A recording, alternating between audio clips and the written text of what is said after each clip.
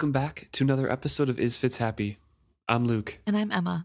and this week we're discussing chapter 28 of Mad Ship Departure of the Paragon. Exciting. I know it's finally come. We've had a lot of uh, time skips here. Maybe not a lot, but some of them at least. And the last we saw Paragon and the crew there, they were getting ready to um, kind of clean everything up, load all of their new stock, their uh, their new food goods and everything like that, and just doing the final touches on the inside. And we are joining them this time when they are just about to depart, the day of, actually. Yeah, and not as high spirited as you high spirited as you would think it would be. Yeah, because they've kind of maintained that uh, doom and gloom attitude the whole time. Right. They are ready to go, and they're. We join in with discussions uh, amongst and Amber, and Althea, and they're just kind of rehashing the same conversations over and over. That's the theme for the first couple pages here. Yes. And most of it is, I wish we, you know, had more time and could do more trials. Mm-hmm. Um, but they don't have time or money. yes, exactly. Amber says, a few more sea trials, Althea, and we'll have no crew left at all because they kind of just leave in droves Right. after they're going through stuff. And uh, Brashen says, Yep, we've gone over this lots of times. Um, you'll have to get used to that, Amber, as we're on sea. That's just what sailors do. We just repeat the same small conversations and complain about the same stuff. Chief topics the bad food, the stupid captain, and the unfair mate. You forgot the rotten weather and unruly ship, Althea added. Amber shrugs and says, I have a lot to become accustomed to. It has been years since I took an extended sea voyage. As a youth, I was a bad sailor. I hope my living aboard here in the harbor will have schooled my stomach to a moving deck. Althea and Brashen both grin because they know that's not the case, and she'll Mhm. probably be seasick, but at least for a little bit. Right. But Brashen warns her that he won't expect much out of her for the first few days, but after a while, if he needs her, he needs her, and she needs to figure out how to do that. Mm-hmm. But I thought it was interesting to highlight. uh, I haven't taken extended sea voyage in a while um, because we know the fool came from down south from Clerres Mhm. and then was in uh, Jamaillia and then sailed up to Buckkeep. Right. And presumably sailed from Buckkeep to Bingtown in I- some capacity. I think the fool got dropped off somewhere. oh, by the dragon. Yeah. That's my interpretation, at least. Okay. but it would have been a shorter trip from Buckkeep to Bingtown than Jamaillia to Buckkeep. So, because it takes, you know, what, like a month or two to sail from Bingtown to Jamaillia. So, I thought Jamaillia was on the way to Buckkeep. no. Do I have the map mixed up? I'm so bad at Yeah, reading we maps. talked about this. Remember, um, Buckkeep and the Six Duchies is in the north, and then north Yes, yeah. east of them are the Out Islands. Right, right, right. directly south of the Six Duchies is Chalced, and then directly south of them is Bingtown and the Rainwild Mhm. River. And then further south is the Marrow Peninsula, where Wintrow got sent for um, priests, priesthood. Mm. And along that coast is all the Pirate Isles. And then south of that is Jamaillia.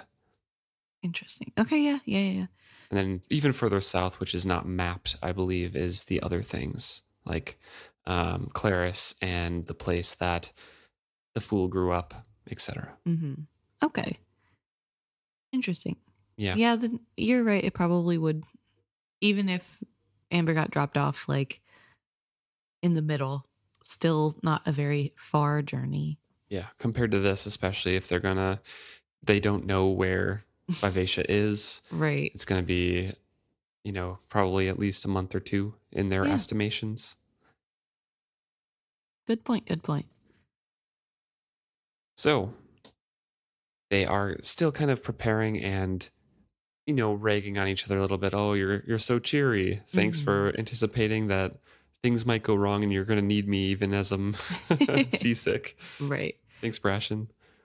And a silence falls over them And despite their easy words, they had all had reservations about what they faced today. The ship was loaded, most of the crew aboard. Secreted, secreted below decks, unbeknownst to their hired crew, were seven slaves who had resolved to take this opportunity to escape to a new life. Althea tried not to think of them. So, as mentioned before in the previous chapters, some of the workers that were helping, you know, to fix up Paragon that Elth or excuse me, that Amber had found are staying below decks to escape their life from Bingtown. But it is scary because who knows what would happen if anybody finds out. Right. And not just to the slaves, but to Althea and Brashen and Amber as well. Yep. So there's a lot of uncertainty going on, and it's just adding to the nerves that are already there. There's just so much that can go wrong. hmm She mentions that at first light they would sail, and Althea almost wished they could slip away now. But to sail off silently into the dimness would be an ill leave taking. Better to wait and endure the farewells and good wishes of those who came to see them off. Better also to have clear light and the morning breezes to speed them. How is he? Brashen asked quietly, stared off into the distance. He's anxious and excited, eager and scared to death. His blindness, I know, Brashen was brusque, but he's endured it for years. He got himself back to Bingtown blind and capsized. There is no time for a risky experiment in carving wizard wood. He'll have to trust us, Amber. He has done so much to turn himself around that I don't want to risk changing any of his conditions. If you tried and failed, well, Brashen shook her. I have Brashen shook her head in my book. I also have that. Okay. Brashen shook his head. I think it's better for us to sail as he is. He's familiar with this hindrance. I think he can cope better with blindness he's accepted than with a great disappointment. But he has never accepted it, Amber began earnestly. Forty two, Althea cut in. She gave a sigh but managed to smile. We've had this conversation at least forty two times. So this is a uh, something that was just broached with Amber at the end of the last chapter that we saw her in Right. is Paragon wishing for Amber to try to cure his blindness by recarving him. And Amber went away from that conversation saying, I'll think about it. I don't want to risk it. But here we kind of jump in, and apparently enough time has passed where Amber's like, Yes, I want to help Paragon. Mhm. And enough time has passed where they've had this argument and conversation multiple times amongst themselves whether they could risk it or not. The consensus is no. Right. Right. Because, like Brashen said, there is a lot of risk. This isn't something that's ever been done before. Right. And who knows what would happen to him if they're on sea and Amber fails. So, definitely fair on Brashen's part, although it does feel unfair as a fan of Paragon to be like, no, don't let him have his way. Right. But I don't know. I think I I get it. I get why Brashen says no. And finally, the topic turns to Lavoy, another topic that Amber brings up. hmm And Brashen groans, then laughs. Apparently, he's offshore the night before they sail. And then when he comes back on, he'll have a hangover and be, you know, uh, a tyrant and mean to the crew, but that's kind of traditional and expected. And he says that I expect he'll drive them hard and they'll resent him. That's traditional too. He's the best we could have hired for the job. Althea bit her tongue firmly. She had lost count of how many times she and Brashen had wrangled about that. Besides, if they got into it again, he would probably make her admit that Lavoy was not as bad as she expected him to be. The man had a streak of fairness in him. It was unreliable, but when it did surface, he held himself to it. He would be a tyrant, she knew that. So did Brashen. As long as he did not go too far with it, a tyrant was exactly what this crew needed. So, slight shift in perspective from Althea hmm not a change of heart necessarily, but a shift of perspective and you know giving Lavoy a chance and seeing that like yeah he he can be decent. Right.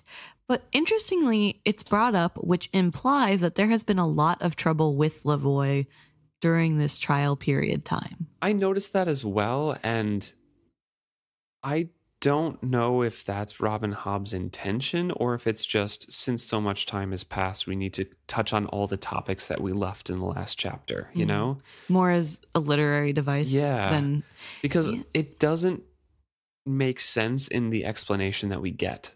right. All we get is that uh, Brashen groans, so maybe there has been some trouble with him being too Right. tough or anything. But then he laughs and is like, oh, it's fine. Yeah, I Like, don't know. I don't know. It is. I feel like my biggest gripe with this book is how often, I, specifically this book, how often each chapter everything is retouched on, Yeah. as though it's been books in between the last time we touched these there's characters. a ton of time skips in the. I think the past maybe six or eight chapters. Every single chapter has had like at least a week time skip between. Right. But also, if you're reading this book, you're probably reading it in a specific setting or like in one go. Maybe not in one go. That's not fair. But, Right. you know, you're not doing so, uh, reading in between enough to forget this detail. Maybe you are. Maybe it's just because we're so in depth that it feels too redundant. But I don't know. I I feel like at least with this chapter in mind, um, it's retouching on the points, but not the specific details because since time has passed, different attitudes or thoughts towards these topics have changed, which is why I don't mind it as much. Okay. Because like yeah, they touched on the carving of Paragon and Lavoy and whatever, but they're the different attitudes. Right? There's different circumstances around them. People think about those topics differently. Right. But I would say that the carving of Paragon makes sense to touch on. Lavoy does not. So that's what I mean. That's why I'm Yeah. saying I think it's a literary device for this because we left off with a huge question mark of like Althea hates Lavoy. He's going to be an issue, and I But- don't know. I well see, but I disagree because then she had to deal with him, and she begrudgingly recognizes that he was okay after he gave her a few tests. I mean, And so, yeah, there's I don't know. It just feels like this has already been answered, Mm, and then okay. this is the exact same thing over again, and that happens a lot, not just in this. yeah, And so, I think this is just the most recent thing for me to be able to point out and be like, you know, what? bugging you a bit in the book. Yeah, exactly. Like, actually, this does bother me because she doesn't do it with Fitz. And I'll have to watch out for the next book to see if it happens too. But, like, I don't remember it being this bad last book. It doesn't. It, it does happen with Fitz, I will say, but it doesn't feel like it happens because it's one perspective Mm-hmm. always, and we're used to Fitz's. He dwells on things. Right. and he runs them over in his head over and over again. And sure, maybe they're, you know, different sides of the same coin, but it's like always approaching the same, like, oh, I just want my own life and hmm leave me alone. And my, I'll touch my pin to remind me of Shrewd, my promise to Shrewd. And, you know, Right. it's, it is touching on those like same topics in general. Like, I'm not talking specifics, but it just doesn't, to me, it doesn't feel the same as this, maybe because this one is shifting perspectives and every single perspective shift touches on a topic Right. that they touched on the last chapter that we saw him in. Yeah. So it's way more repetitive for this. Yeah. And I guess it happens in like every book ever whenever you have a series and Right. you're into the next book they have to assume that there's been a lot of time between so they need to catch you up beginning of any, every book in this series does that. yeah and i also find that tedious but Yeah, i same. understand the point of that hmm even if i don't read that way i whatever hmm i get it but this is just The chapter to chapter, chapter to chapter it. yes Yeah. it's like okay like, i just read it i know what they said i don't know whatever too much of a tangent but i just wanted to make sure that that that was put out, especially with this random Lavoy bit. hmm Yeah. Interesting.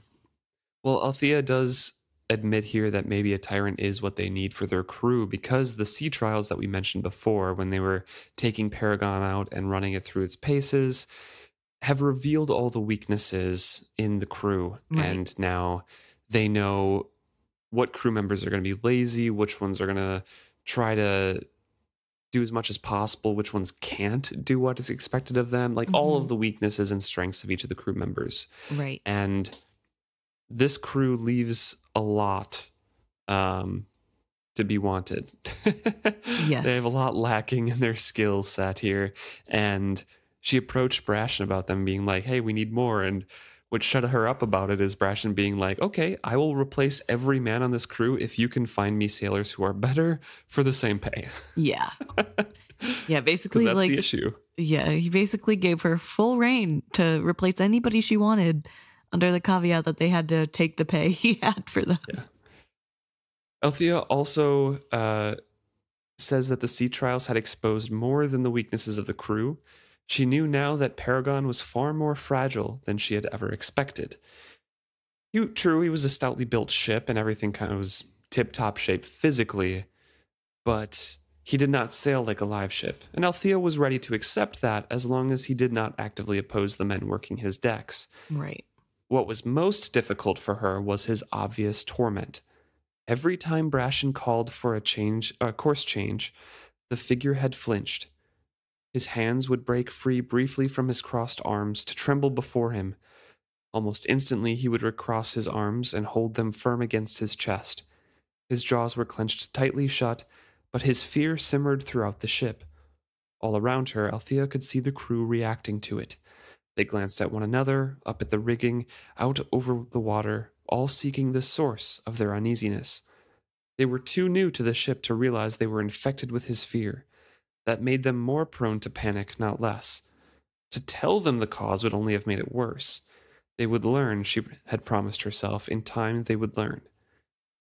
So basically, she's saying, yeah, Paragon is affecting the mood of the sailors because he's terrified of being led into something dangerous and not being able to see where he's going. Mhm. And the crew not knowing the source of their fear makes it worse. But if they were directly told that Paragon is making you feel this, they would be even more scared. But she's hoping if they find out gradually over time or understand it, it'll be like, okay, it's not my fear. I can learn to deal with it. So it's right. it seems to me just kind of like putting it off a bit. yeah, definitely an ethical gray area, if Yeah. not horrible. I get it, I guess. They don't they can't really afford to have more people leave the ship, but also feels like something they should just say up front. I don't know. Yeah, poor Paragon though. He is uh yeah. he's not feeling great about it. He's putting on a brave face. But, Yeah. I do feel bad for Paragon. Mhm. We jump over to Malta's point of view now. It is the next morning because this was the night before that they were gonna Paragon was gonna sail, and now they are getting ready. The Vestrit family is getting ready to go down to the docks to watch Paragon sail away and bid farewell. Right. And they are going with Devad. hmm And Malta makes note that his carrot, uh, carriage is freshly refurbished and Yes. its hinges no longer squeak. The door firmly shuts closed. The upholstery has been thoroughly cleaned, although she feels like she can still smell dead pig. Right, yeah. But it's definitely all dressed up in a way that it wasn't before. She mentions that she didn't sleep well last night to her mother, Keffria, and I highlighted that because there is a struggle with dragons later in this uh, section, and I am anticipating that Tintaglia has been visiting her dreams Right. because Reyn has uh, forsworn going down there now, and it's Mhm. been you know probably another month or so or a couple weeks since he made that deal with Jani, so Tintaglia is probably a little bit anxious. Right. So, uh, of course, when she says I didn't sleep well last night, Keffria is like, "Well, it's natural for you to be excited. You know, the the ball's only eight days away. We're getting close." Right. Davad Restart, of course, butts into the conversation, saying, "Yeah, quite natural. You shall see, my dear. This this shall mark the turn of all our fortunes." So Devad is very excited about this venture. Yes. I think because Devad thinks that Malta's definitely getting married to Reyn, which means he now has a connection in the Rain Wild. Right. Even though he hates the rain wilds, people. Yes. Because uh, remember, if you guys haven't, if you've been listening with us week to week, it's been a while since we talked about it, but he blames the rain wild for the death of his family. right. He thinks that they're the reason the blood plague happened. Yes, exactly. He thinks the blood plague came from messing with that, you know, magic up the river. So, uh, Ronica agrees with Devad saying, I'm, I think this will turn all of our fortunes, but to Malta, it seems more like a prayer. and uh, they arrive at the docks.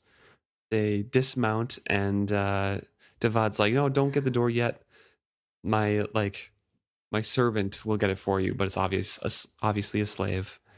So the the slave opens up the door, and as they disembark, they all thank the slave, who is very uncomfortable, and looks at Devad, who's not paying attention, thankfully, Right. because the slave is like, "I don't think people should be talking to me."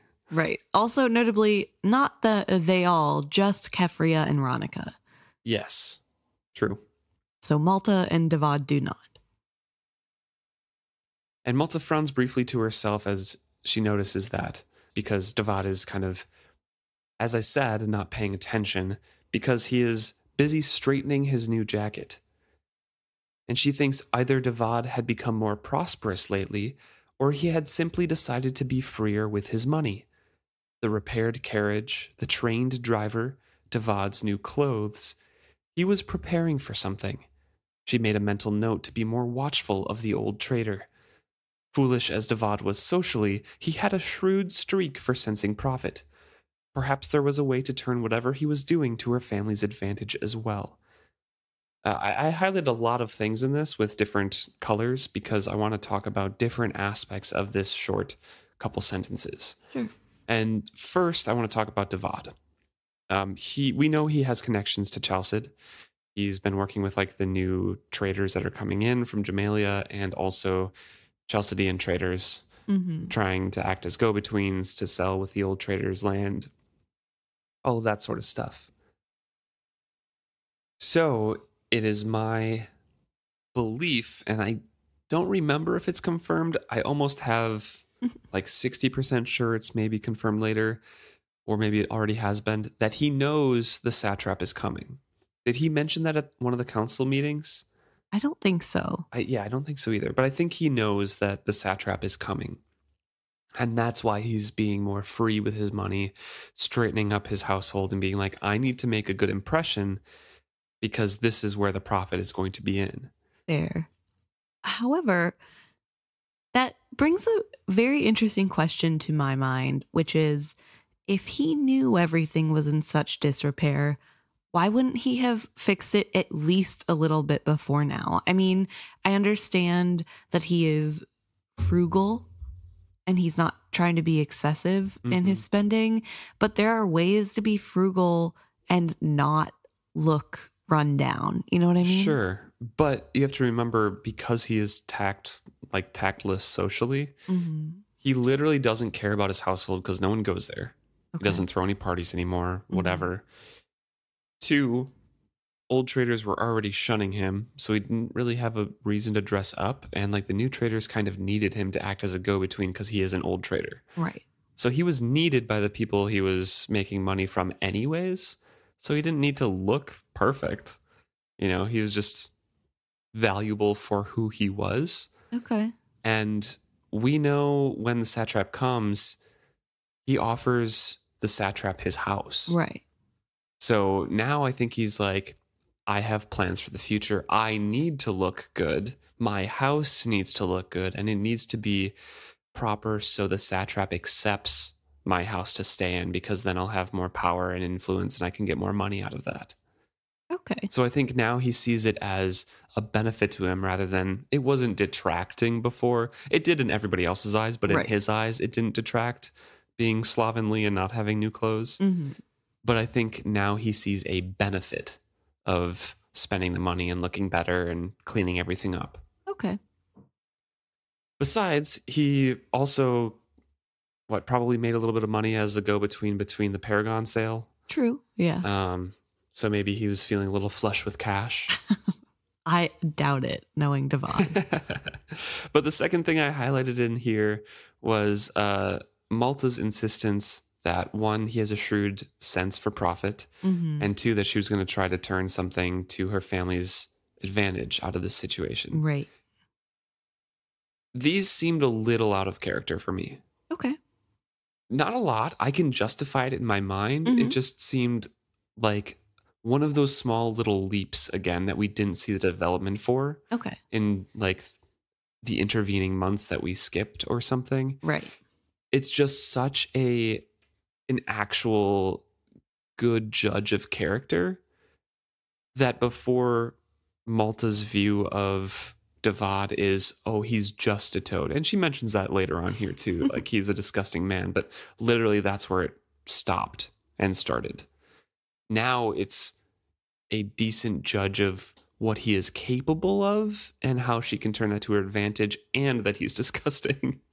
I I would say I think it's excusable because Devad was the one acting as the go between between the for the Paragon sale, and so Malta would have been part of that and would have seen how he managed that sale and got them the ship that they needed. Uh, yeah, I so- guess it just doesn't fit in with my view of her character because the last we saw her, she had her whole disillusionment in men and the power Right. that men hold, and now she's holding Devad in slightly higher esteem for his capabilities. But I don't think it's because he's a man. I don't think it's like, oh, all men are powerful. He's a man that's powerful. I think it's Devad has shown I know because that's the Right. opposite of what her development has gone to. Right. Yeah. I, I think it's more Devad has shown his usefulness. I think Malta is very capable when it comes to picking apart people's traits and assessing what they are good for, even if it's through a lens of a child who doesn't know a ton about the world. She still is pretty accurate about knowing how to use other people and what their role can be. That I'll agree with. I don't agree with judging people's traits. I I do. I mean, even if she does it I don't know how to explain this because I was just about to say, even if she does it wrong, she she like has a way of judging a person accurately. And I feel like sometimes that is through a lens that is disagreeable to us as a reader. However, at the heart of what she is saying, it is a very valid statement about people. Like she has noticed the relationship between Brashen and Althea, which Yeah. maybe isn't that difficult to spot. But she's also noticed things that, like, Althea is not really capable of being proper. And while the way she's looking at proper is outdated to us, she's not wrong, I guess, is a good way to Yeah. phrase that. And her grandma, she knows her mother is no one she needs to contest with. She doesn't ever fight for power with her mom. She only goes after Ronica. And she can see to the quick of what gets under Ronica's skin really easily. The fact that she looks old, the fact that she wants to have a good reputation. Like, I don't know. I think Malta is really good at seeing, she she is people. discerning in some ways, but I feel like she still has completely wrong reads on some people and is like based entire her like feelings towards those people on those reads. So I don't know. To me, to me, this is just a little jump too far that we didn't see the development for. Right. To just be like, oh, Devad is shrewd and he does he is good at seeking profit because the only deal she's really seen out of him is the Paragon one. She doesn't really know him. She's tried to distance herself from him. Well, So I, I don't know. Well, yeah, but he has been a family friend her whole life, and she's been to multiple trader council meetings, right? And seen how he, How no one likes him. Well, but how he commands the room still. If nobody likes him, why is he able to have say in anything? You know what I because mean? Because he's an old trader and that's how they do everything. If Right, you stand up, but- you can talk. Sure, but I'm saying if he's so so incompetent, why do people still do business with him? I don't know. Yeah, I don't know. Just I'm like you had before with your read of this. To me, my read of this is just doesn't quite make sense. Right. The development too far that we did not see. And like I said, it's a small jump. I can justify it in my mind. hmm Just it doesn't keep pace with where I thought her development was. Okay. So Davad offers his arm to Ronica. Ronica allows it, and then they walk down the uh, the docks. They're making note of. Well, Malta is making note that they look fairly fashionable right now. Ronica insisted that they needed to look their best and not look poor at this point. And she and Malta admits to herself that Rache was developing into quite a seamstress, and that Rache had an eye for copying the newer styles on the streets of Bingtown. Today they were almost fashionable, save for last year's parasols. Even Selden was properly dressed. So Selden is along and he has actual lines of dialogue this time in this Mhm. chapter. Yeah. Very surprising. I think he doubles his lines for the whole book in this chapter, maybe. Yeah. He says, Being a proper little trader is choking me, he returns. Yes, because she tells him that being a pro or a proper little trader boy does not fuss with his collar. so they are walking along.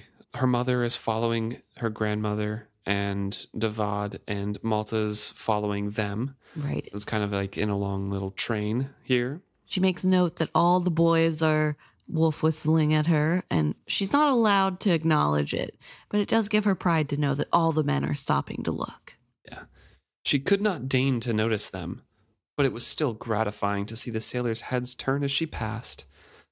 A few made admiring, if unseemly, comments on to their fellows. She kept her head up and did not change her pace. Sharp and sudden, she wished she were a three ships girl. She could have winked and flirted back, and no one would think she had made a bad match if she attracted a hearty young sailor. She was having to live as cheaply as a fisher girl. Why could she not have the carefree ways of one? There's a very mature thought on her place in life. Um, sad, but it's a mature thought about it. Because before she's just like, I, I don't know. It's just the feeling that I get. You made a face when I mentioned that, but it's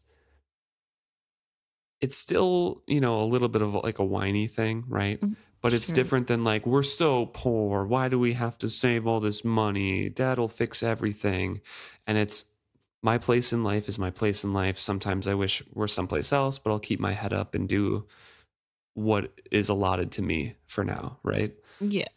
I guess, yeah, it's just funny to hear you say that it's mature when it's about complaining that she can't more openly flirt with boys, Sure. I guess, which is like not necessarily, not that it's not mature to flirt, but like I, it feels like a very teenage girl thought.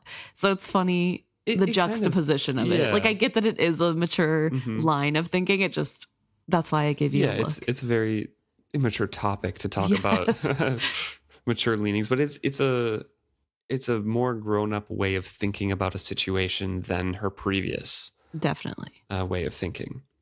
Yeah, and I think I think it's a good show of growth on her part, but I think it also highlights that this society is very stifling, especially to the women in it. Yeah, And I think before she just couldn't have seen that criticism because she's a good little trader girl and that's what they're supposed to do. And now she realizes, like, oh, I am afforded way less freedoms just because of my station and it's not fair. Although, not quite mature comes enough with to. privileges as well. Right. Not quite mature enough to see that side of the Yeah. coin, I think. But she's getting there and I think that's appreciated. Yeah, because she equates the the privileges she gets as a Bingtown trader as only the money. So that's why she equates like I'm living as cheaply as a three ships girl. Why can't I act like one? Right. So as they reach the west wall, where all of the uh, live ships are docked, her grandmother slows and greets each one, and they wish her well as they go on. But Ronica does take the time to talk to each of them. Right. And Malta notes that all of them speak very politely, but some of them even speak warmly to Ronica, greet her by her name, etc., and wish her well on the journey. When they finally reached the Paragon, the rush of emotion she felt surprised Malta. There he was, the blind ship, the mad ship that her family had scraped and strained to refloat. He rode easily beside the dock. His brass gleamed, his wood shone. He looked like a new ship. He held his head high, his arms crossed on his muscled chest. Below his splintered eyes, his jaw was set firmly and his chin jutted. He looked nothing like the rotted old wreck that she had seen on the beach below the cliffs. Selden's small hand tightened on hers. Veronica greets Paragon. Apparently, very loudly. Yes, she raised her voice and says it. And Paragon uh, smiles back and says, Good day to you. I'm blind, not deaf. You needn't shout. Which is very funny. And Veronica does not take offense. Yeah. She. Ration's like, Paragon, come on. Yeah. but yeah, Veronica is very determined not to take offense. She just repeats again, What a nice day to sail. And there was an exchange of pleasantries that Malta didn't pay attention to. right. Honestly, I get it. Same. I, yeah. I feel like part of me is kind of upset that we have to read this moment through Malta's point of view because she doesn't care about the intricacies. And as somebody who loves the little details, I want to know. However, I understand why Hobb would do that and why you might want to just skip past the boring yeah, it's not monotony. The. Yeah, it doesn't matter. It happened. We all know.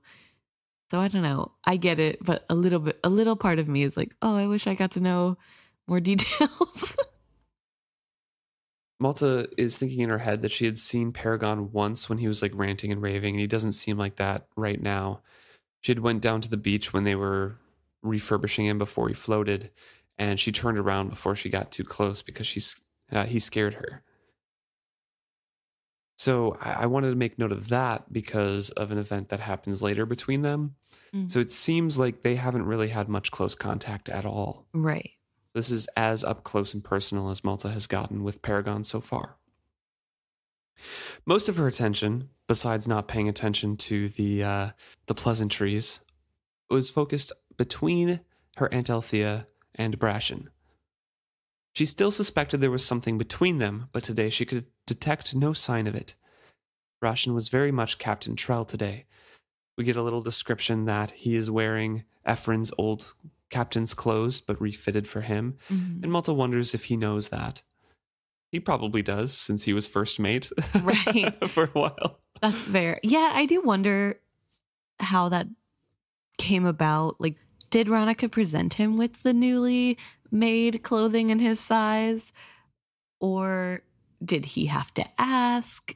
You know what I mean? Like, what's the situation here? I'm sure Yeah. he wouldn't have asked. I, I'm assuming it was presented Mm, because Ronica's all about the appearance. you true. know? But was it presented by Ron- by Ronica or Althea? I would assume Ronica because she would have the clothes Yeah. from her late husband. How did they get it fitted to him though? Like, did Rache come down to the ship? probably Like, right, yeah. They probably said, hey, we're going to use these clothes to tailor you, and then made him for him. Hmm. That'd be my assumption. yeah, fair enough. Malta makes note that Althea was dressed surprisingly sedately. Unusually sedately. Describes her clothes a bit and says that She even had on shoes. yeah, she even had on shoes and suspects that it's mostly for show. That as soon as they cast off, that she'll be back in boys' trousers, and that Aunt Althea is decidedly odd.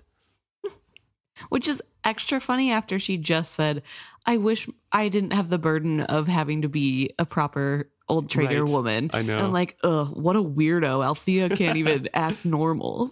Okay.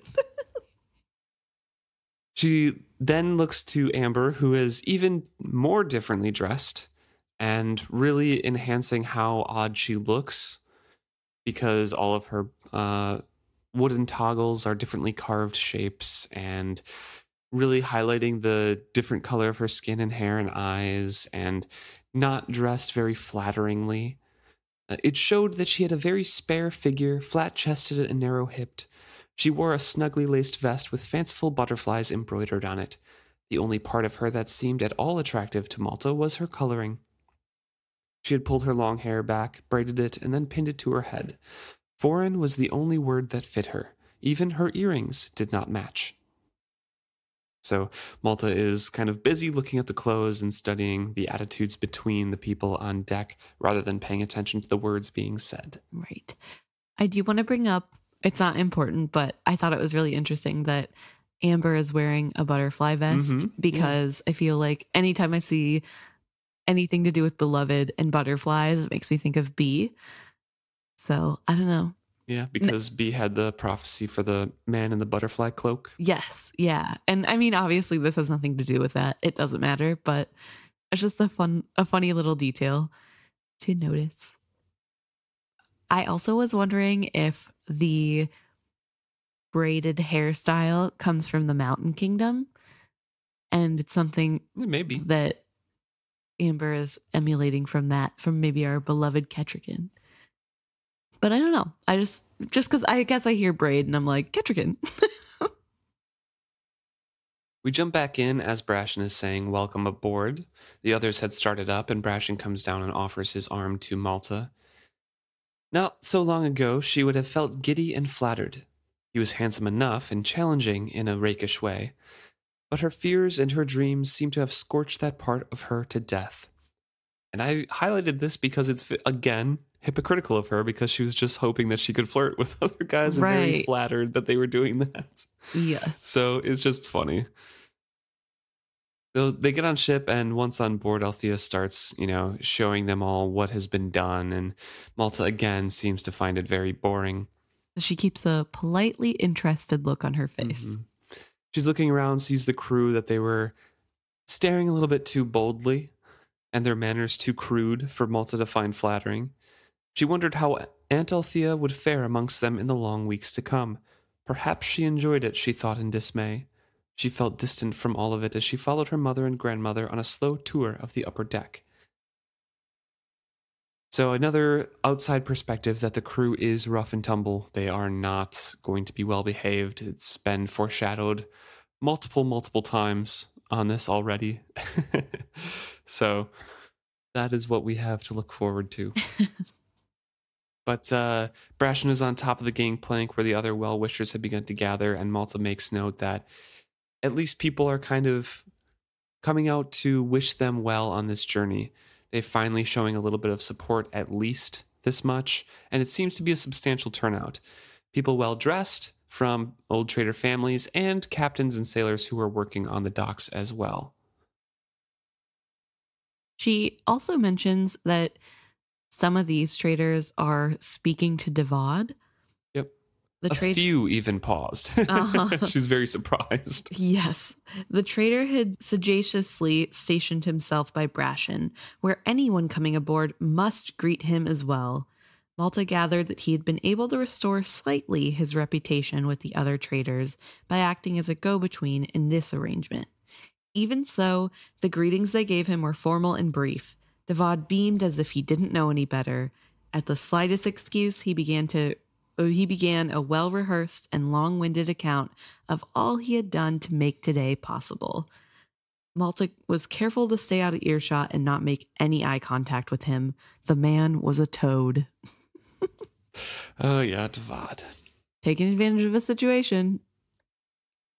So Keffria uh, gets her attention and says, Are you coming? Because it looks like they're about to tour the rest of the ship, not just the deck where they're Right. at. And Malta's like, I don't really want to go inside. So I'm going to stay out here. the weather's so nice. I'm I'm going to stay here. I do want to say I thought to get to a ship's hold in old timey boats like this, it was like a ladder, not stairs. it's called, I believe it's called a ship's ladder, but they're the very, very steep stairs. It's like, um, I don't know. I, I've climbed a few in my time, at, like at work in mechanical spaces. Mhm. They're just like very steep, and there's kind of. It's like more of a uh, like an A-frame ladder where it's at an angle and you can like walk up and down it with like a railing, Mm-hmm. but it's very steep. So it's technically stairs, but it's steep enough to probably require three points of contact. okay. Well, I was just I was thinking about it because how are all these fine ladies getting up and down it in the big dresses. I just Right. feel like that would be a tripping hazard. Yeah. I don't know. Maybe in uh, live ships they are made differently. yeah, fair enough. Maybe it's a little bit more easily accessible. But yeah, I, I don't think um, I don't think it's like a straight up and down vertical ladder that you climb up and down. It's usually kind of stair ish. Okay, sure. But either way, Malta does not want to be there, so she makes an excuse that she'd rather stay and enjoy the good weather, which does make Althea hesitate because, much to Malta's surprise, she does seem to realize the kind of men that are aboard the ship and seems hesitant to leave her niece with them. However, she then agrees to let her stay, and Malta realizes it's because Amber and Althea have had some sort of silent communication that has made Althea feel as though Malta will be safe up on deck. Yeah, with Amber.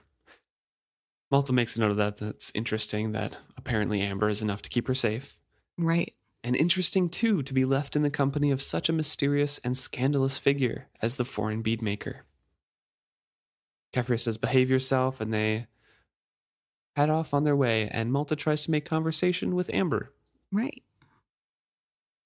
So they're very politely, uh, very polite to begin with, I guess, I will say. Just like, you know, good luck on your journey, Mistress Yeah. Amber. It's really odd because Malta is coming at this sort of as though she's excited to get to talk to somebody she probably shouldn't, which is Amber, because it would look weird in any other situation.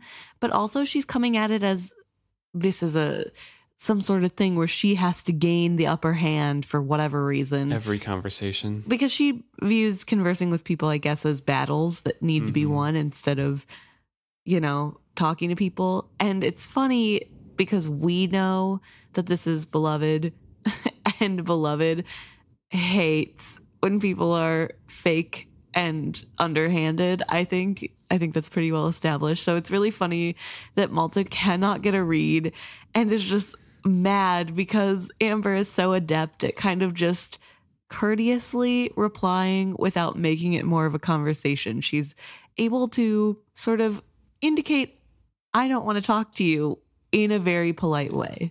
And Malta tires of the game and bluntly asks, Do you think there is any chance you'll succeed? So finally, you know, a show of caring for her family here. Um, she's wondering if this was all a fanciful exercise, a show of caring by her family, or was there truly a chance they might rescue her father? So she's asking an outside person now, What do you think? And finally showing herself truly to Amber a bit. So Amber Right. opens back up to her Right.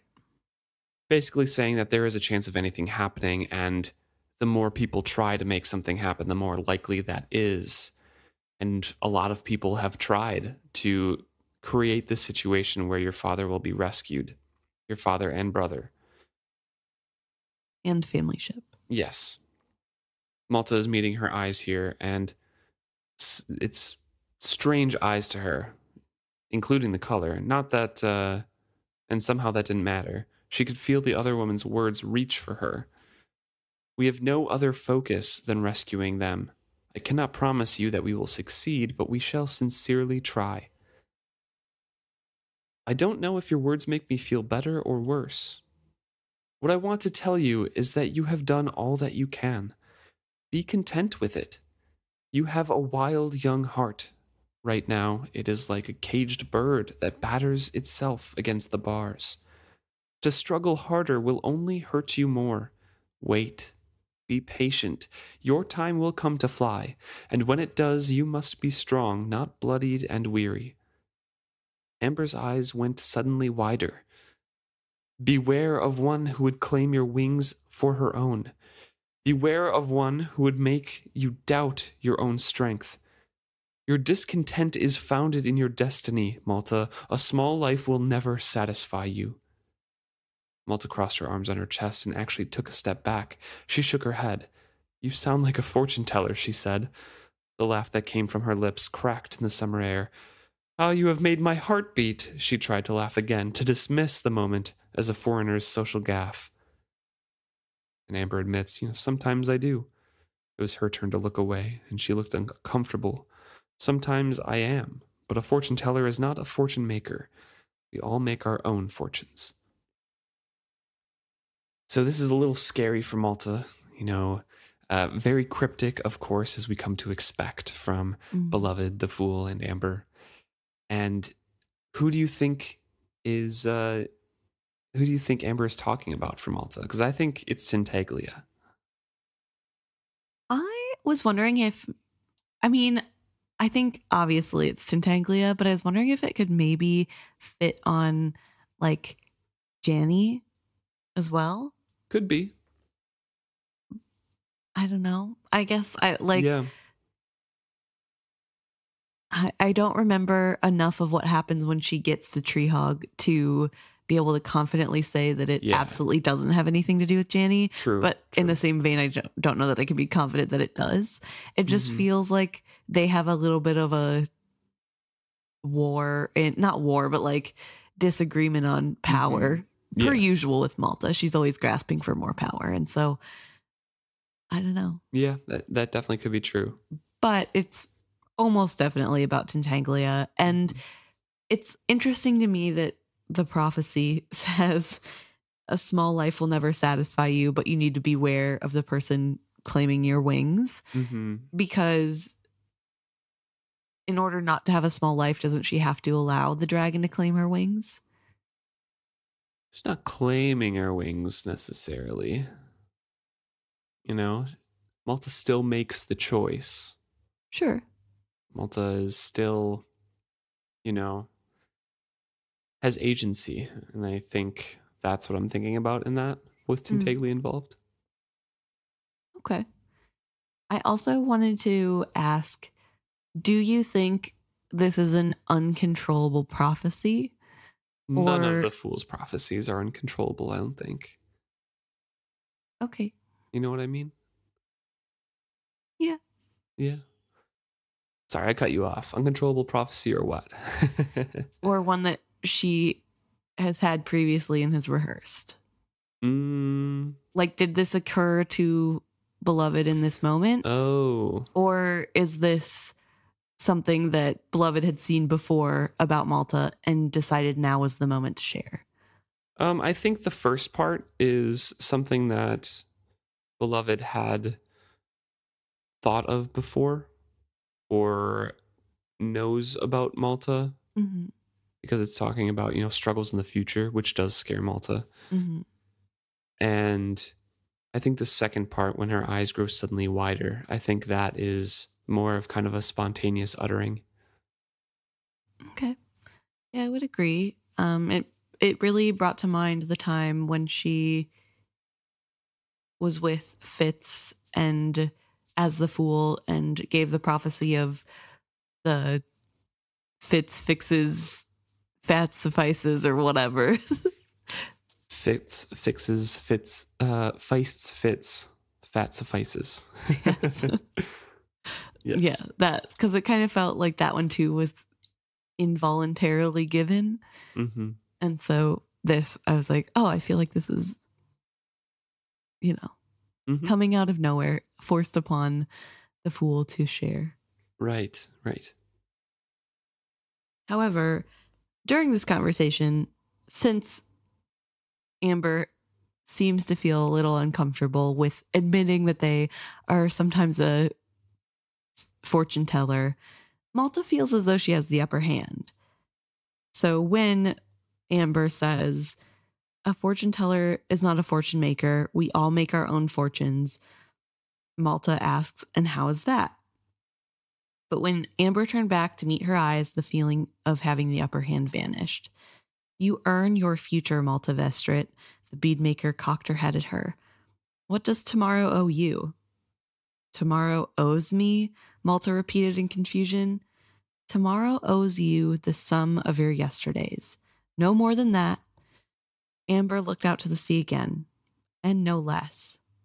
Sometimes folk wish tomorrow did not pay them off so completely. And then Malta feels very uncomfortable and needs to change the subject. hmm So Amber is just like talking about to Malta here.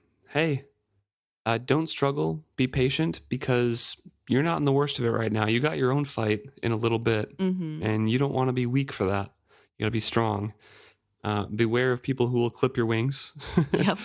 and um, also, all of your yesterdays, everything that you do now, will uh, lead into your future. Yeah. So make your choices carefully. Yeah. Which this part felt more like you're kind of a nasty kid and you need to be nicer. Probably it wasn't. Maybe that's just my reading because I don't love Malta, but But You know. Malta, yeah, changes the subject quickly. she immediately feels uncomfortable, which is a little telling, but you know. She goes on to praise Paragon and say, Oh my Paragon, you look so beautiful. And as she does that, she grasps the railing. As sudden as a snake striking, the ship twisted his head to look up at her. That was the chilling part. The wrecked space between his brow and nose froze her with its shattered glance. The coloring of the rest of his face was so natural, but the chopped place was silvered and splintered wood. Her tongue clove to the roof of her mouth. She gripped the railing to keep from falling. Paragon's mouth parted in a wide, white smile. It was the rictus of madness. Too late for her, he whispered. Malta did not know if he spoke to her or about her. Too late for her. Wide wings hang above her. She crouches like a mouse in the owl's falling shadow. Her little heart beats to bursting. See how she trembles, but it is too late, too late. She sees her, knows me as well. He threw back his head. The laughter roared from him. I was a king. He was incredulous in his triumph. I was lord of the three dominions. But you have made me this a shell, a toy, a slave. Perhaps lightning struck her from the still blue sky. She fell into a roaring black gulf. She tumbled, soundless, through endless black space. Then from nowhere a flash of gold appeared. It was too large a shape for her to see it all. In an instant, it loomed too close to her to be seen. Great talons seized her, wrapped around her chest and waist. They squeezed the air from her. She clawed at them, but they were armored in scales like metal. She could not pry them loose to let herself breathe, nor did she want to fall to her death if they let her if they let go of her. Choose a death, a dragon whispered. That's all you have left, pretty little one. The choice of your death. No, she is mine. Mine. Let her go. Prey belongs to he who seizes it first. You are dead. I have still a chance at life. I will not see it snatched from me. Iridescent silver clashed suddenly with gold. Mountains collided and fought for possession of her. The talons clenched, cutting her in two. I shall kill her before I let you take her. Malta had no breath left to cry out. There was almost nothing to, left of her at all. These two were so immense, there was no room for her to exist in their world. She was going to blink out like a dying spark. Someone spoke for, for her. Malta is real. Malta exists. Malta is here. Eventually, she wakes up and says, I am Malta. I do want to quick read over a little bit that you skipped there after the Malta is real, Malta exists. Mm-hmm. As if she were being wound up like a ball of yarn, the layers of herself were gradually restored to her. Someone held her against the maelstrom. I think that part is really important because it lets us know that right now, wherever she is, this is Skill River, river adjacent. Mm-hmm.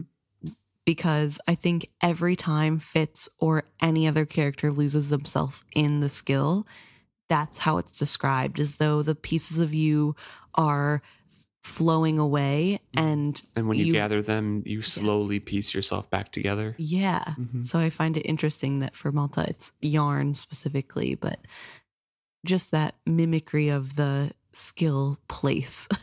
Yeah, yeah, because she grips that railing and Paragon in his madness, the one of the dragons in him, whichever one she's touching. Yeah, is trying to claim her as prey. Um, and maybe it's because she has like the stink of Tintaglia on her or something, or it's recalling some sort of dragon territorial thing, Mm. but that dragon is going after Malta in some way. I was really wondering why Malta, why now? Obviously, now is the first time Malta's ever been there. But if Malta had done this pre meeting Tintaglia, would Paragon's dragons reacted to her that way? I don't think so. I really don't. Because there's nothing. I mean, there are unique things because we follow Malta and she's a protagonist in a story, but I Right. don't, there's nothing actually unique about the makeup of her Mm.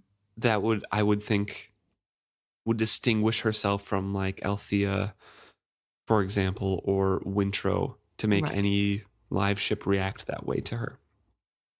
Although I will argue there is a chance that she is more receptive to That's possible. whatever this magic is. Yeah, like skill communication, like we talked about Mhm. before. Yeah, and maybe just is like a bright vessel, has a lot of skill potential.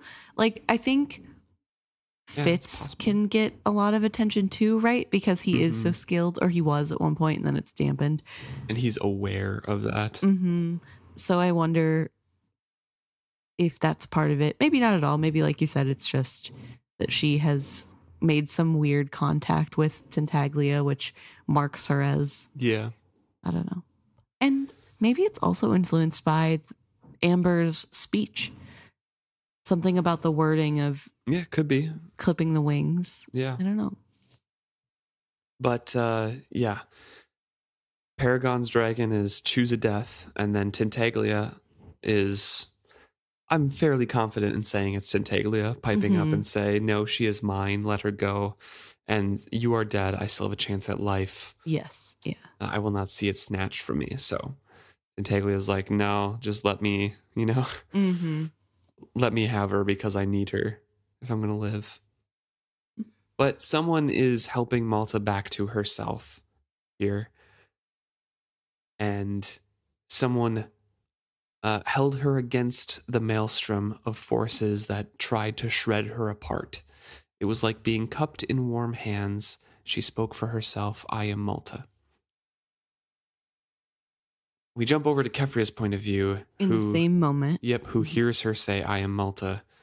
And Keffria's like, Of course you are. And that's all that Malta's repeating is, I am Malta, I am Malta. Mhm. And Amber kind of takes control of the situation and says, I get her off the ship to Althea. Right. Keffria notes that Malta is currently laying in Amber's arms Mhm. and that Amber has one hand under the head of Malta or Yes. cupping her neck. Mhm. And as Malta is taken away, first by Althea, who lifts her up, and then by Brashen, who takes her out of Althea's arms, she notes that Amber is quickly putting her gloves back on, and she just gets a tiny glimpse of the her disfigured hands. Yeah, which is a weird thing to say because her hands aren't disfigured. Well, that's not necessarily true. We know that the silver, when on Verity's arms and hands, made it go down to the bone.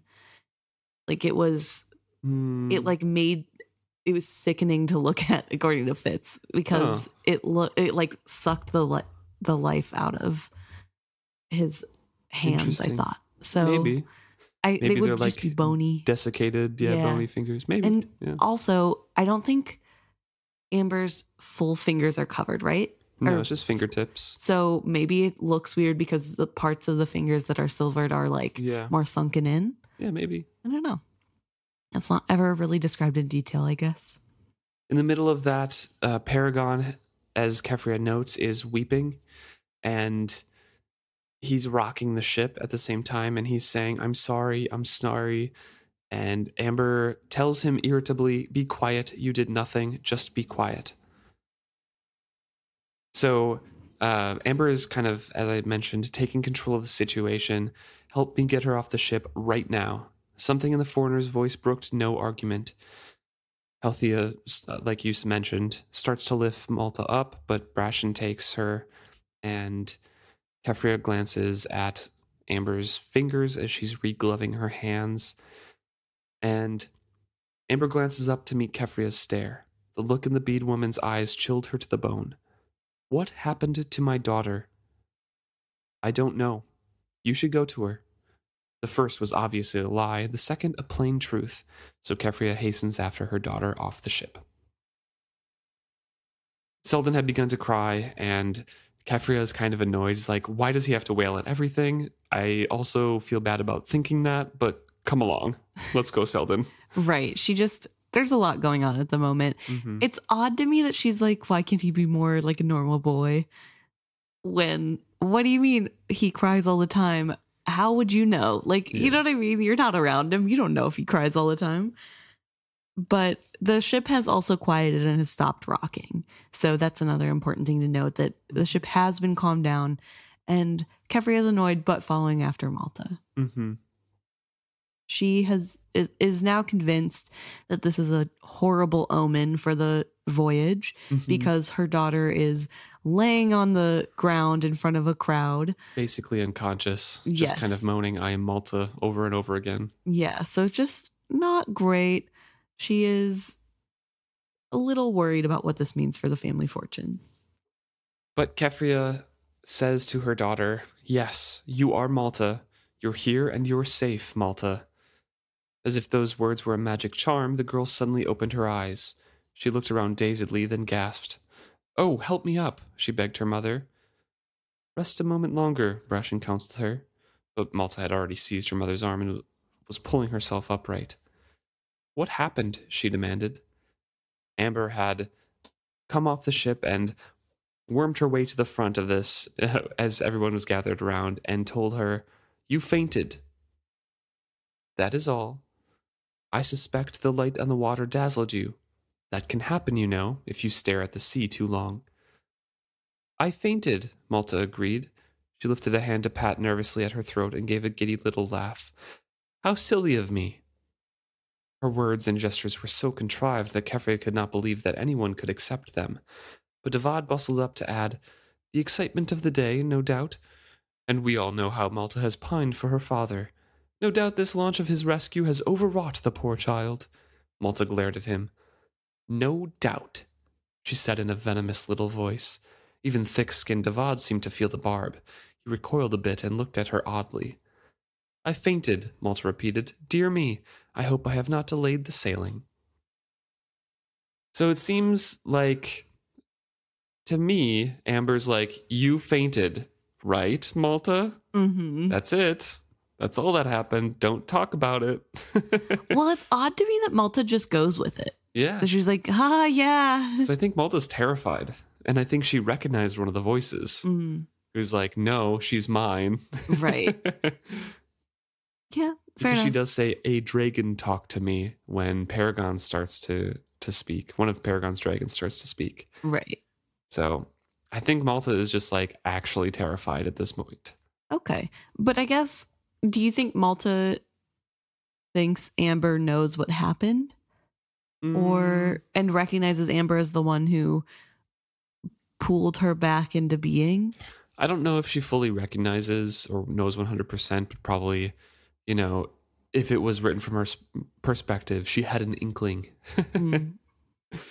or suspicions about who did what. I will also point out, I don't think you read this part, but whenever she gets up, she rubs the back of her neck and winces. Mm. Do you think there's silver residue left over there? Yeah, yeah, yeah. I think she is silvered there. Hmm. I think it's talked about later, actually. Okay. So that's it's just so weird to me that Amber can still leave silver fingerprints. I guess it has to be It consciously Clings, done, right? it clings to anyone living, I believe. Mm. Because, you know, it happened to Fitz, got the silver on his wrist. It Uh-huh. happened to Malta with on the back of her neck, and that's why Amber keeps her hands gloved. So yeah, I, I think that she definitely did leave residue. And I as I mentioned, I think it's remarked on later Mm. that she might have some silver on the back of her neck. But it's really funny to me that Keffria is like, oh, Malta's so bad at lying. Yeah. And no one could believe the words that she's saying because everything's so contrived. right. Miss, I believe anything Malta tells me if I like the way it sounds. Right. So Malta's, of course, playing her part and being like, oh, I hope I didn't delay the sailing. I hope you guys can still go on. It's my fault, you know. Right. To which Brashen replies, Not by much, but you are right. We have to be on our way, which is a nice little out for everybody. Mm-hmm. This yeah. can clear up. They have to go. But before they do go, um, Trader Ashe stepped up to Brashen. Let your men save their backs. I'll have the boats from the Sea Rover give you a tow out. Leave room for one from Winsome, Trader Larfa Braid. In a moment, half a dozen other live ship owners had offered assistance. At this point, Keffria isn't sure if this is a sign of how eager they were to have Paragon out of the harbor or the a little show of good faith and help that they are able to give since they haven't been very helpful before now. But she can't she can't really say either way and honestly they haven't questioned Paragon's right to be in the harbor, so maybe it is just good nature from them. And by the way, Brashen responds to them by saying, Gentlemen, I give you my thanks. It's clear that he is having the exact same thoughts. So no one reboarded the vessel, but they did say their goodbyes right there on the dock because they had already left. And um, Keffria is remarking that Ronica is more emotional than Keffria thought she would get. And Keffria's own feelings are kind of torn because as she's saying goodbye to Althea, she doesn't, she wishes things turned out differently, but doesn't really know what to say at this point. Right. And also, like, whose fault is it that they didn't turn out differently, Keffria? Right. mm-hmm. So, yeah, so she's not sure how to feel. She's very conflicted, but they're leaving. Keffria does remark that it was even more disturbing to turn from that and see Amber holding one of Malta's hands in her two gloved ones. Take good care of yourself, the foreigner was saying to her. Her gaze was far too intense. I will, Malta had promised her. They spoke almost as if Malta were the one sailing off into the unknown. Keffria watched Amber turn away from her daughter and reboard the ship. A moment later, the bead woman reappeared on the foredeck by the figurehead. She leaned down and said something to him.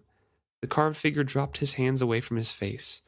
He brought his head up, took in a breath that swelled his chest, and then crossed his arms on the chest tightly, his jaw set into lines of stark determination. And the lines are cast off, and everyone is kind of said their final goodbyes, and the ship starts being towed out into the harbor. Althea and Brashen joined Amber on the foredeck, and each in turn bent to speak to Paragon, but if he acknowledged them in any way, Keffria could not see it. She glanced away from the spectacle and found Malta staring raptly at the ship. She could not decide if her daughter's expression was one of terror or love, nor, she frowned to herself, could she tell if she had stared at the figurehead or Amber. Malta gasped, and Keffria immediately looked out into the ship again. Small boats were catching back the lines thrown to them, and Brashen was waving his thanks as the sails began to blossom on the ship's rigging. Despite the men scampering about frantic- frantically, it was truly graceful sight. As Keffria watched, the figurehead suddenly threw wide his arms as if to embrace the horizon. He shouted, and a trick of the wind carried the words to them I fly again! It was a triumphant challenge to the world. Tears are pricking Keffria's eyes, and she hears Malta say a prayer, and her voice breaks. May Sa speed you. Keffria says herself aloud, May Sa speed you and bring you safely home. And Paragon sails off. Right. And the breeze seems to blow away Keffria's prayer. Mm-hmm. Who do you think Malta is looking at? Is it Paragon? Is it Amber? Is it both? And is it terror or love? Or is Keffria just completely wrong in her assumptions about how intense Amber is being with Malta? Maybe in my mind, it's possible that Malta is looking at Amber with respect, which I can see Keffria confusing for love because she probably sees that look only directed at Kyle from Malta, usually, which is very mean of me to say, but I do think that's true for Malta, that her respect and love are very intertwined. However, I don't think she loves Amber but I do think something transpired between them. I think Malta, on some level, understands that Amber helped her and is providing her with some sort of help. Well, if they did, if she did silver the back of her neck, they have some sort of connection now, too. Mm-hmm. And I mean, the fool names a horse Malta later. Right. yeah after her. So like I, I, think they do have some sort of connection. So I believe you there. And I, I agree with that, some sort of respect or at least understanding between them. Mm-hmm. But I think she's looking at Paragon as well, and that's with terror. Right. No, definitely. I think that's also a good read because of what just happened. Yeah. But yeah, I don't know. Odd. It's yeah. interesting to me that Beloved likes Malta as much as they do because I feel as though Malta is very adjacent to Starling, but Beloved yeah, hates but, Starling. But Starling's not messing with her boy, you know? Not messing with Fitz. You mean Malta? No, no, Starling. Well, yeah, yeah, yeah. yeah. Starling messed with her boy. Sorry. Yeah. and Malta is not. And Malta has an actual part to play. Okay. Harsh. Um, well, she frees yeah. Tintaglia. True. It's what probably the most important thing that the fool does, you know? Yeah. Definitely. So I think that's why. Yeah, fair enough. But I, I just mean also there has been other comments made by Amber in this series of I like Malta. Mm-hmm. and it's always like, what do you mean? I don't know. Well, fairly short chapter, but like I uh like I thought there's lots going on here, lots to talk about. Right. Lots, lots of, of, in-depth things happening. I feel mm-hmm. like the mm-hmm. short chapters are the longest to get through because Sometimes, of that. Yeah. yeah, because they're so they're so they're so dense, I guess. Well, thanks for tuning in and sticking with us this long through this density. if you have thoughts on the chapter or on you know what Malta is feeling, the connection between her and Amber, please let us know. You can email us at isfitshappy at gmail.com. We read all of those, of course, even though we might not directly reply to them. We will talk about them usually on the podcast here. And of course, we read all of them. And you can also message us, DM us, comment on any of our posts on any of our social medias, or Twitter, Facebook, Threads, uh, YouTube. We have an account on Reddit as well, so we kind of read through threads on there as well. So thanks so much for tuning in. We can't wait to hear from you and can't wait to uh, for you to tune in next week as we continue this journey. Yeah, it's starting to get good.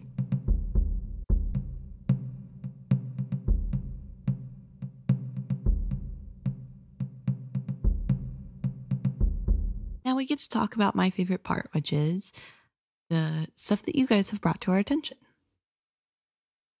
I think we're going to start with a comment on Facebook that is a little bit more lighthearted. Um, for last episode, episode 187, I asked the question, What sort of worldly things would you teach Wintrow? And Cookie Baker replied that they wanted Etta to teach Wintrow to be a designer. Yeah. Cookie Baker mentioned that he was an artist in the monastery and uh, they would love to see him learning to sew, you know, because yeah. like Etta makes all her own clothes. So be interesting to see Wintrow make more art. I'd be interested to see if like the dragon and serpent stuff comes out again, if he did more stained glass. Yeah, I, but, I can imagine him embroidering like mm. really pretty serpents yeah. and dragons. But apparently, he does the stained glass with his fingers and makes designs. I think embroidery would take too long to fall into that trance. I don't know. Maybe it would be even better. Embroidery doesn't take that long if you're really good at it. I think. I mean, okay. it still takes a while, but yeah, yeah, yeah. Yeah, interesting is fun little fun little comment there. Yeah. So thank you, Cookie Baker. Um, and then backing up a little bit to episode 186, we had some comments on the episode. Yeah, some discussions that we had from those um, from that episode. Yes. So one was the north wall versus west wall conversation. Like we thought it was a. Uh, I think we discussed it earlier as well that it was different in different editions. Mm-hmm. And what seems to be the consensus is that the HarperCollins slash UK versions have North Wall Yes. and the US versions have West Wall. That's what Mhm. I'm seeing, at least from Yes. anecdotal evidence. Yeah. We had readers, uh, Jessica and Ellen both re- uh, write in Mhm. with UK versions that say North Wall. yes, So interestingly, although Ellen wonders if maybe it's an older edition of the book as That well. North, yeah, and that they real they looked at a map in newer editions and so put forward the West Wall West. Wall. Yeah, I don't know. Um, I thought we looked up your version and that it was not altered from the first edition. So, I mean, I could be wrong. Yeah, it says this edition is the complete text of the original book co- or hardcover edition. Not one word has been omitted. So I'm guessing it was changed for UK, and maybe there is some, um, I don't know, concern over West Wall Oh, being yeah. a prominent thing. I don't Mhm. know. So Yeah. yeah, thanks for writing in about that. Ellen also mentions that they totally forgot that the ships turned into dragons at the end of the series and kind of like blanked it out, maybe thinking it was too fantastical, and just kind of got reminded as we had that conversation. So that was funny to read too. Yeah. Fair enough. I feel like a lot of parts of these books we get to it and I'm like, "Oh, I forgot this happened." And finally, on that uh, episode, Degenhart uh, responded because we had a discussion about the choose to be happy and how they handled, they meaning Amber, Brashen, and Althea, handled Paragon and the boundaries or withdrawing love, as Degenhart had first brought up, how that went and how, and if it was fair or not for him. Right. And Degenhart um, was persuaded by us, actually, that it was not a withdrawal of love and it was setting of boundaries and that it was, I don't know, maybe still could be communicated better, Yes, which but I it totally wasn't agree. like an abusive kind of thing that they did. right. At least not intentionally. yes, exactly. But yeah, it- it leads into an interesting conversation because we did get other emails about that topic as well. Uh, namely, Jessica uh, wrote in to talk about the just choose happiness discussion in general, and that Jessica agrees that it is a very simplistic thing that normally needs much more nuance. But coming from Clef, it was a perfect conversation to have with Paragon because then Paragon could have control over something. Right. And Clef is also young, so it speaks to that childish side of Paragon a little bit easier Mm-hmm. and gives it gives I guess excuse isn't really the word, but gives an excuse for such a blanket statement because it is a young child's way of talking out how to just move on from traumatic events, I yeah, guess. exactly. Yeah, Jess says in here that uh, they would roll their eyes at anybody who actually said it to them in real life. but for this specific scenario, it, it worked out well, Yeah. which, yeah, I think I agree with as well. So thank you, Jess, Yes. for writing it about the uh, the addition and the uh, the conversation. Yes. We then also have some conversations to have from email about Paragon and Amber from Jonas. Yeah, kind of tangential to this a bit. Yeah. So Jonas puts forward the conversation that we were talking about with Amber not wanting to carve Paragon's face Yes. initially Yeah. and my assertion that beloved has a thing for beauty Mhm. although they do uh, jonas does kind of stipulate that it's not necessarily things that everyone would find beautiful. It's Right. very objective to the fool. Eye of the beholder and all that sort of thing. yeah. yeah. And so. Jonas kind of Yeah. uh, took your side in it and said that, yeah, I think that beloved does have that view on beauty and wouldn't want to mar anything about Paragon. Right. And also points out that it's not just outward beauty that Fool sees or cares yeah, about. yeah, really highlights that. Yeah, beloved is not a superficial person when it comes to Mhm. beauty, but just the beauty of everything of that object. Right. And especially with something like Paragon, it's more about the inside workings of Paragon as much as it is about the outside and how you can even see objectively the figurehead that Amber does end up carving for Paragon isn't super handsome. Although Jonas says you could argue that Yes. because apparently Fitz is very attractive. uh, yeah. What is with Hobb only choosing hot lead characters? Well, I would say he probably was going to be attractive, and then he got, you know, multiple scars and broken noses and got can still be tortured a few times. with- Sure, sure. Just not as attractive, probably. I don't know. He still gets hit on even with the scars and broken nose and That's true. Tom Badgerlock hair. That's true. I don't know. but anyway, thank you, Jonas, for bringing that. Also, Jonas mentioned uh, with last episode, which had more Kennit focus, that Kennit is indeed a pig. So Yes. I thought that was very funny, and we had to mention it. Speaking of Kennit thoughts, we have a an email from uh, Catherine, who is a little bit behind, but has some thoughts on Kennit himself. and Catherine actually brings a really interesting perspective for us because Catherine is a therapist. Yeah, and so was talking from the perspective of somebody who has more of that background and has said that they really enjoy Hobb's portrayal of trauma and it's done very well. hmm Finishes up. I'll, I'll go back. We'll go back through some of the details of Catherine's theories here, but the general topic of it is Catherine is saying, in my professional experience, people can close themselves off to all sorts of vulnerable parts of themselves in order to feel a sense of safety. And I wonder if Kennit is an extreme version of that. Yeah. Which we, we've talked about briefly about something like that, but Catherine kind of goes into detail about the things that Kennit feels is his luck, for Mhm. example, might just be his empathy shining through finally, like hi- him breaking out of his shell of safety. You know, his luck Yeah. that oh, he went down to the hold of the the first slaver and it was so smelly that his tears were welling up out of his eyes, you know, and it was so abrasive. But like, was that his compassion and was he actually crying?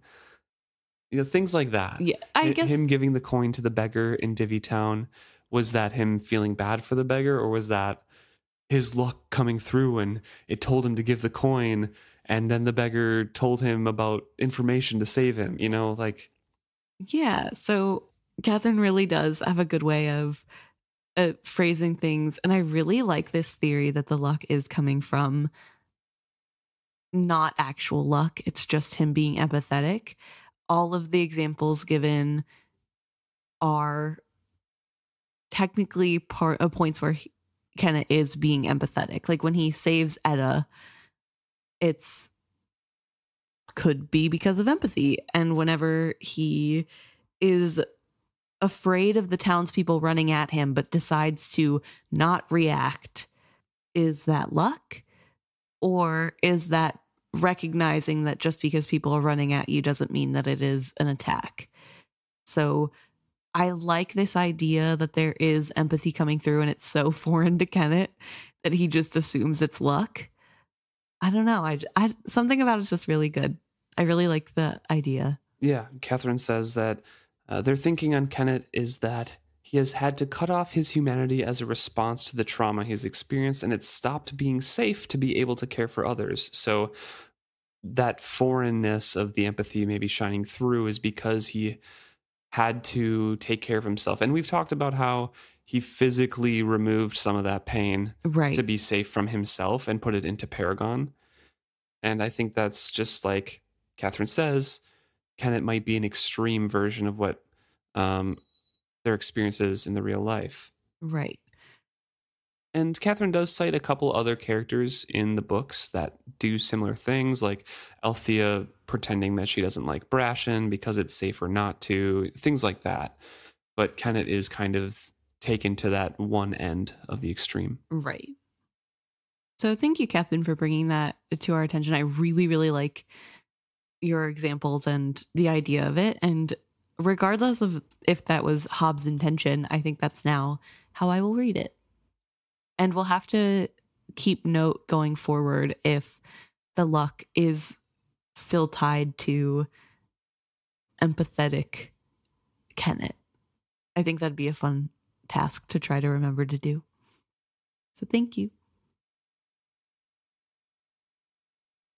We also have a message from listener Julie. Julie is also a little bit behind. So their discussion or her discussion is more about the first trilogy. But Yeah, it is And talking about like the magic systems. yeah, yeah. And so Julie wanted to talk about her take on the wit. Yeah, specifically, Julie is kind of talking about. Um, I believe we've touched on this briefly, and oh, this is probably years ago at this point.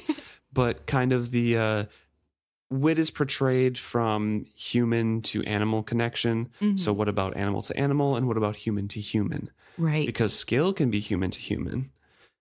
So, what about the wit? Like, is there some sort of human to human connection with that? And I think it is an interesting topic. And I seem to remember bringing up the fact that Fitz describes something in, I think, his Tom Badgerlock writings Mhm. about a a mother being able to wake up to the slightest disturbance of her baby and that's kind of like a manifestation of the wit Mm, right. i don't know if we get any more examples but it seems to be kind of a uh, at least described on fitz's behalf uh, a nurturing kind of um human well, not human but um kind of empathetic compassionate magic Yeah. where it's a connection to feelings and the emotions and the life force of other people or other things. And Fitz mentions that he can sense other people, and that's why it's so weird that he can't sense the fool.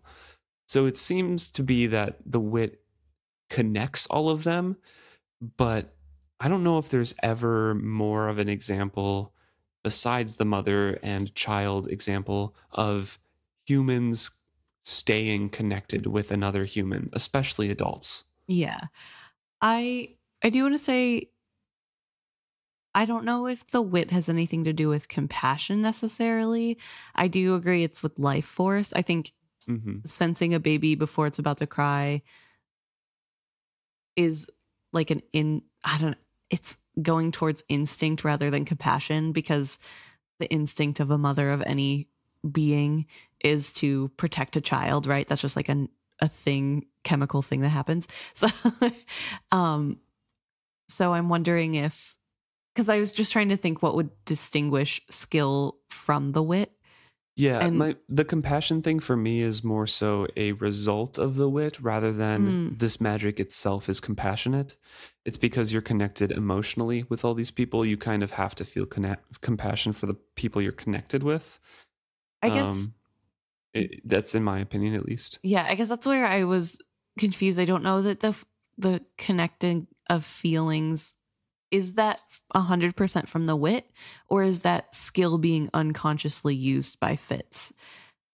You know, like Mm, I feel like that's kind of described as a a thing of the wit of the old blood, even by Web. You know, like he Mm. sees through the eyes of his creature or whatever. Like you use each other's senses, you're in each other's mind, you you're thinking their thoughts.